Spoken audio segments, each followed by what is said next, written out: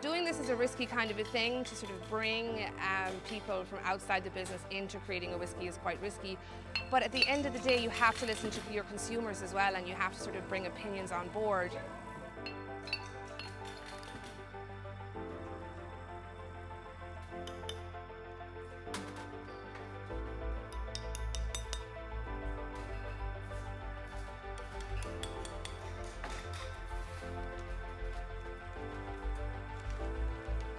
We are bottling the Lock-In today, which is our first ever crowd-sourced blend.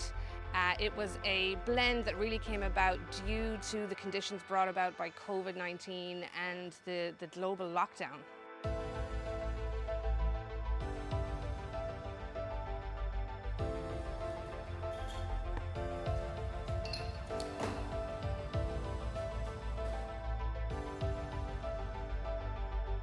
This is a really vibrant, uh, flavoursome blend. We've got a bit of citrus in it, a little bit of spice as well. I think banana was thrown around quite a bit in the, uh, in the Zoom uh, online blending session that we did.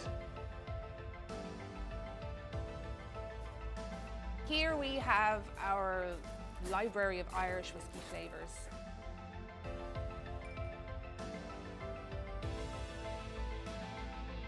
We wanted to stick very much to the ethos of the original Whiskey Bonders and the craft that goes into blending and picking out flavours.